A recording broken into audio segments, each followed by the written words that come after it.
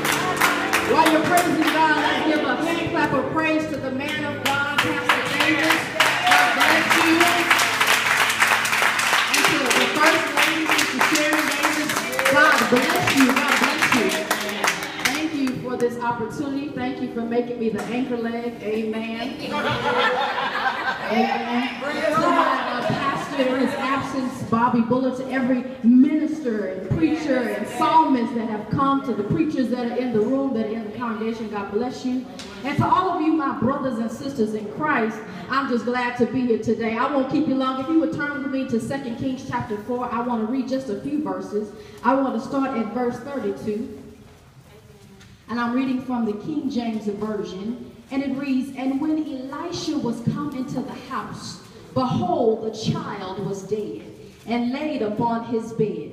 He went in therefore and shut the door upon them twain, and prayed unto the Lord. And he went up and lay upon the child, and put his mouth upon his mouth, and his eyes upon his eyes, and his hands upon his hands. And he stretched himself upon the child, and the flesh of the child waxed warm. Then he returned and walked in the house to and fro, and went up and stretched himself upon him, and the child sneezed seven times. And the child opened his eyes, and he called Gehazi and said, Call this Shunammite. So he called her, and when she was come in unto him, he said, Take up thy son. Then she went in and fell at his feet, and bowed herself to the ground, and took up her son and went out. For just a few moments, I want to talk about no more humiliation. No more humiliation. Father God, we thank you for this opportunity. We thank you for this time. Lord God, I need you right now, Father God. Let the word that proceeds out of my mouth and the meditations of my heart be acceptable in your sight, Lord God, so that you may be glorified. The saints would be edified. Some sinner might be sanctified, and the devil would be horrified. In the name of Jesus, we pray. Amen. No more humiliation. I don't know who this is for. I don't know. I don't know. It might just be for two of you in the room. But somebody in this room has come against closed door after closed door. No after no. Loan officer after loan officer. And they keep saying, no, your credit is not good enough. You keep getting embarrassment after embarrassment. Humiliation after humiliation. But God sent me here to tell you, you are in a season of no more humiliation. No more humiliation. The, the passage of today, the passage that we've been looking at all day of the Shunammite woman sits in between two stories, two miraculous stories. What happened before Elisha meets the Shunammite woman, he runs into a widow. The Bible calls her a certain woman, and she was the widow of one of the sons of the prophets that uh, served Elisha. And he has died, and now the creditors are after her because of his death. And, and the creditors, they're not, uh, uh, uh, they're not at her job no more. They stop calling her phone. They stop texting. They are at her front door. All right. They come to repossess not the house, not not not uh, her car, but they come to take her children. And she goes to the man of God, and he gives her instructions. Somebody say instructions.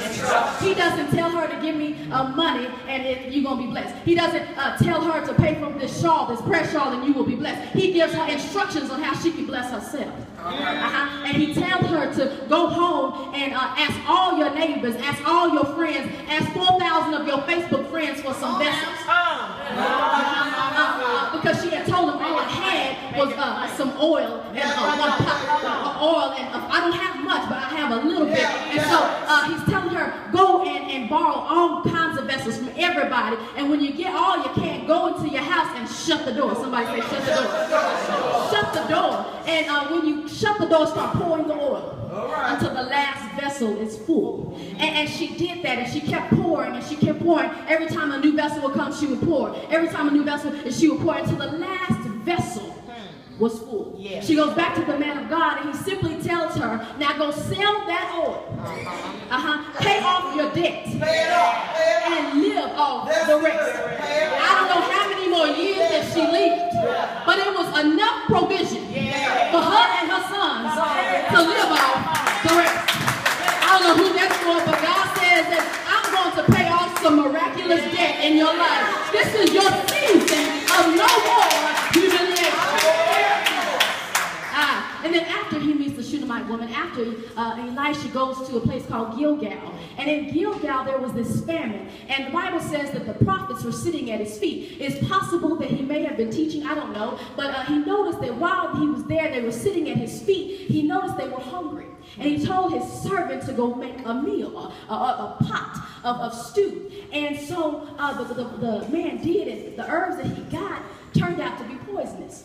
And the prophets tell Elisha, we can't eat this, this is poisonous. And right in the middle of his teaching, right in the middle of, of the sermon, he picked up some meal, dropped it in a pot, and it turned into edible foods. Uh-huh. I don't know who that is for, uh-huh. but God is saying, I'm going to do a quick change. And what the devil meant for evil, I'm going to turn it around for your good. It's going to happen suddenly. Somebody say, no more. Humiliation. We're right here of miraculous provision. Anybody in between two seasons? You've seen God do it before, and you're waiting on Him to do it again. But you're not where you used to be, but you're not where you're going to be. You're not where you were, uh, but you're not where you're supposed to be just yet. You're in between two seasons, and God sent me here to tell you no more humiliation. Uh, in this particular passage, if you look at it, I want to tell you three, three, three things on how to be in your season of no more humiliation. Uh, verse 33 says that Elisha, he shut the door and he uh, closed the door and prayed unto the Lord. So the first thing you have to do is you got to pray. Simple, right? You have to have a active, an active prayer life. But the Bible says he shut the door. That's significant because he told the, the widow woman to shut the door. Why would Elisha shut the door? Well, my Bible says in Matthew chapter 6, when you do a service, because Elisha's about to do a service, when you do a service, uh, shut the door because what you do in private, God will reward you in public. And if you uh, uh, fast forward into that same passage, when, when you pray, the Bible says, go into your secret closet and shut the door and pray unto the Father. And the Father who sees in secret will reward you in public, will reward you in open. So somebody in this room has been praying in private, has been fasting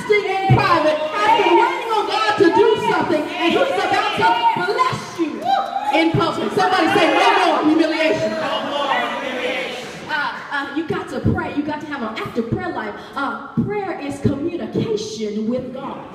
Communication with God. When you when you communicate with God, you're talking to Him and He's talking to you. And so you are not just communicating, but you're communing with God. Communing with God. And when you when you commune with God, you change your community. All right, all right. All right, all right. All right, so when you pray, prayer is your GPS track to change your community. When you pray, you are inviting God into your atmosphere. When you pray, you're inviting angels into your atmosphere. And wherever God is, the devil can't be in the same place. Wherever angels are, demons can't be in the same place. So you gotta change your atmosphere by having an active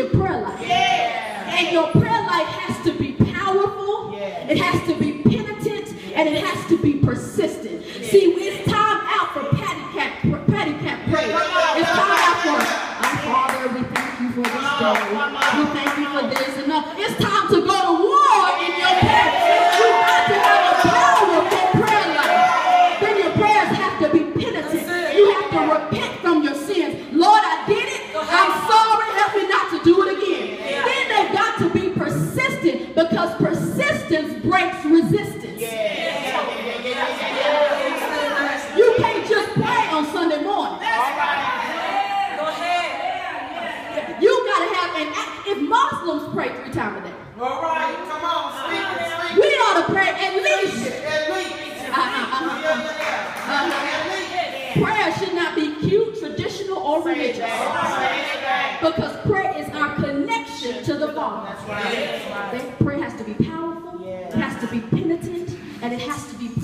persistent. Your prayer has to be so powerful, it has to be like what Moses and Aaron did. When Moses and Aaron prayed, it stopped the plague. When Paul and Silas prayed, it brought an earthquake. When Hannah prayed, the priest thought she was drunk.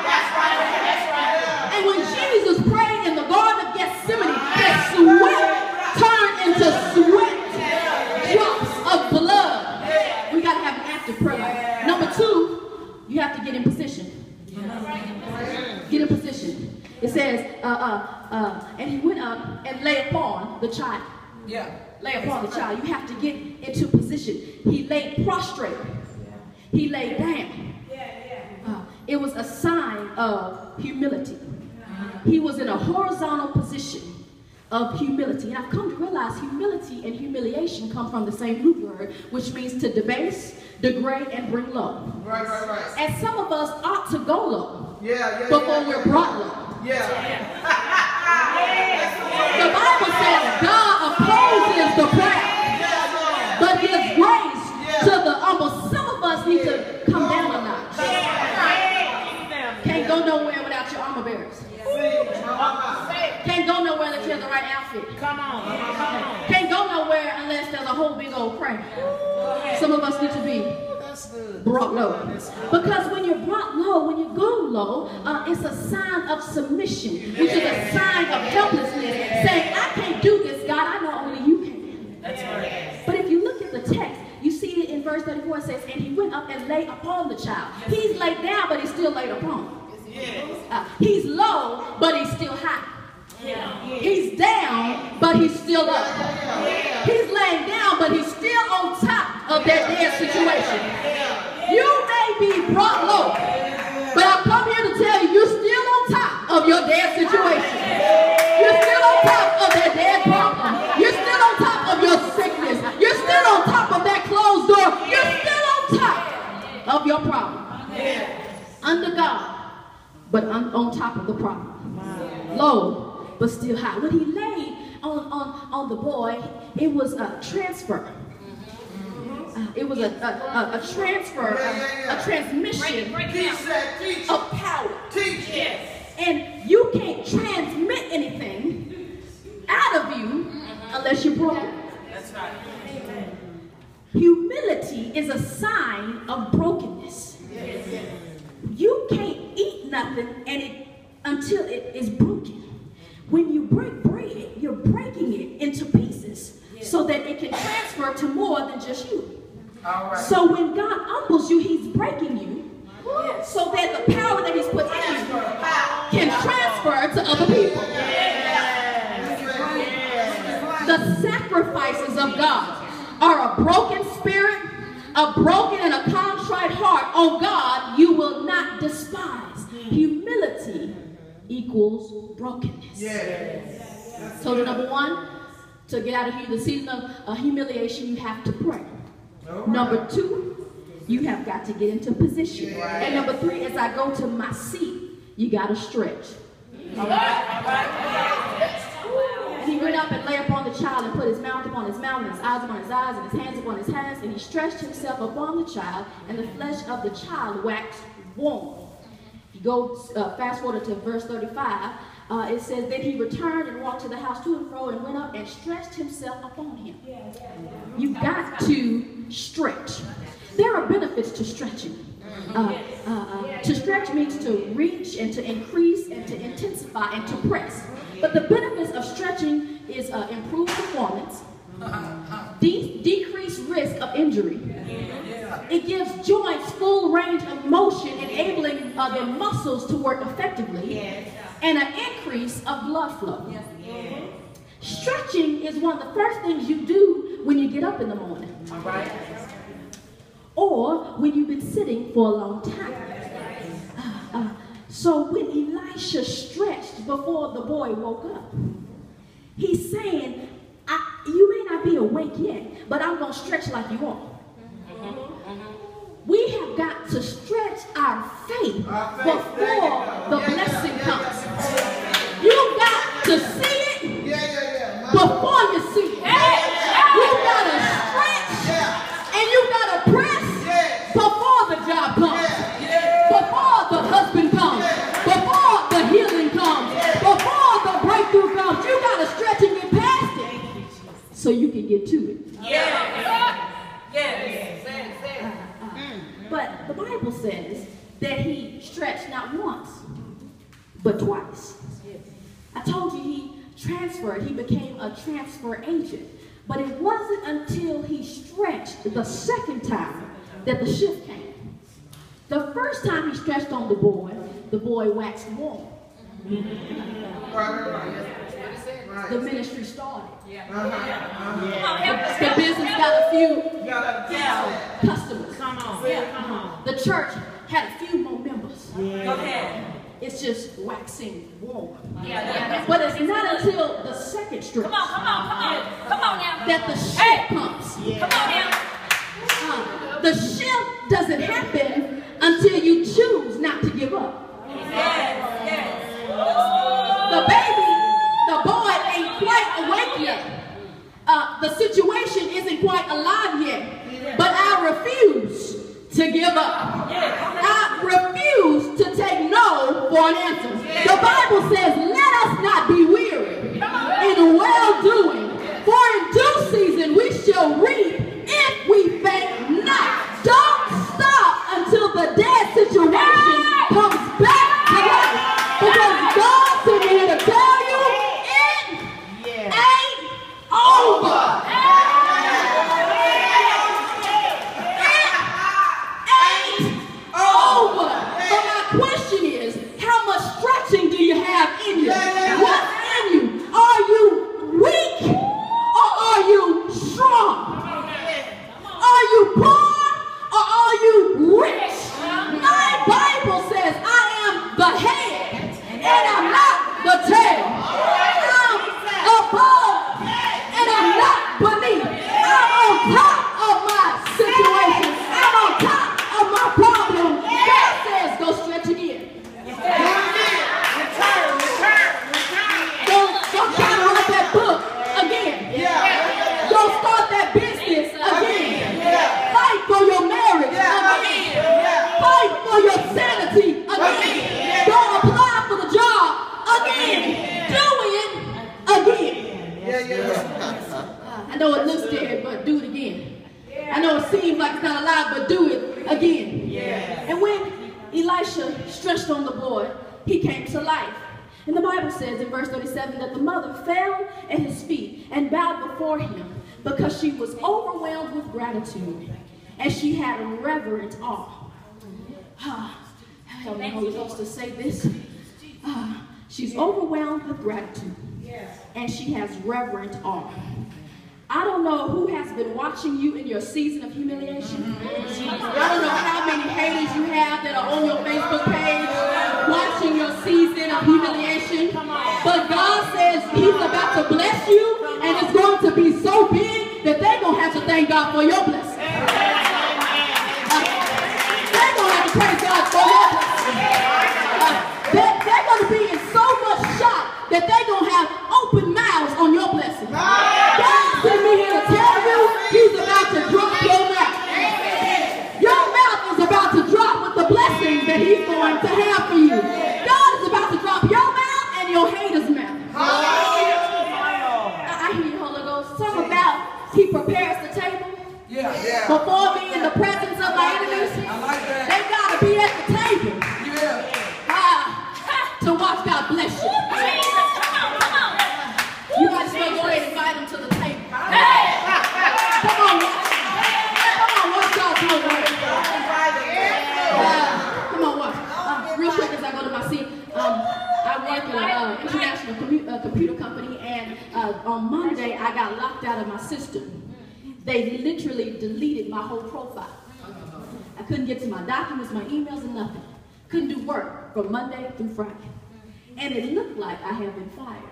Nah, okay. uh, uh, my manager tried all week to get it fixed, all week long.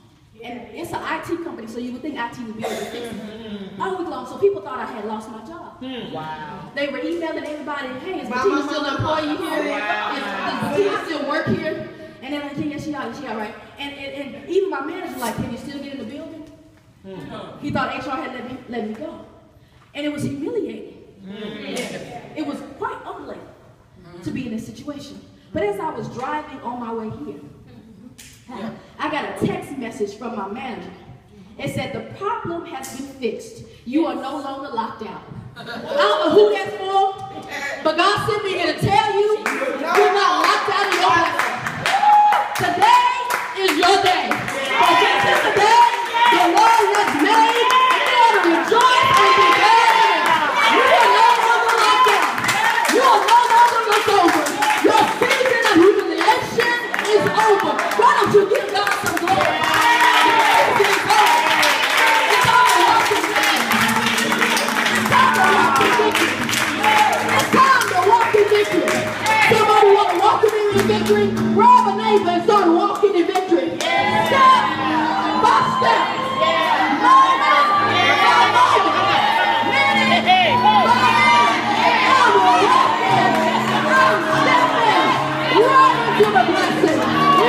Into the